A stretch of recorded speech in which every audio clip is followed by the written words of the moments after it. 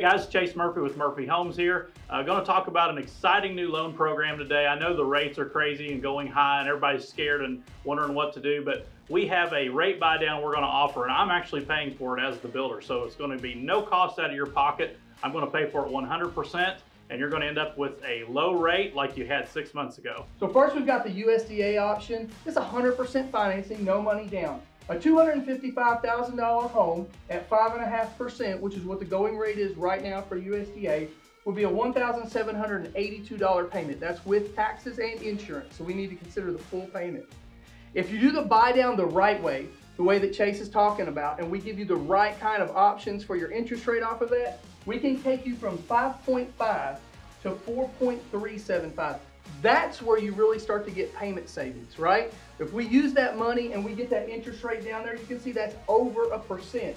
That takes your payment now to $1,605, so $1,600. You got an APR of 5.05.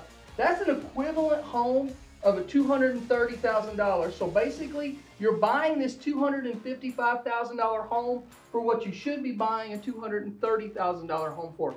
That's how the buy down should work. You should be able to get that kind of adjustment off of your interest rate when you're doing a USDA loan.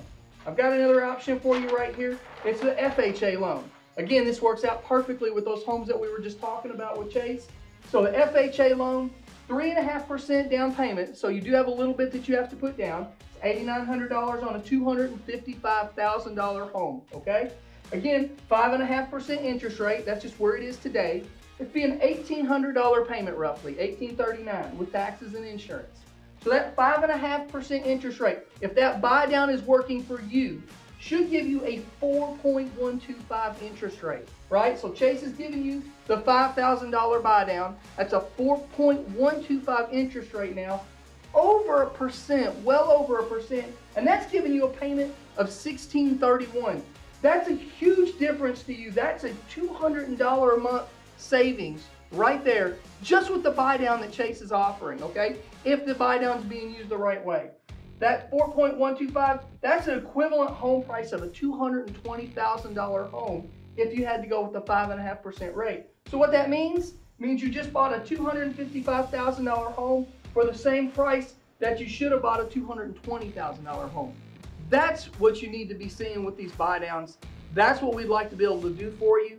We see a lot of information out there about buy downs and what that really means. But if that money isn't going to make a substantial difference with your interest rate, it's really not going to you, it's going to somebody else. If you'd like to preview some of our homes, we have homes in Charlestown and Southern Commons for under $255,000.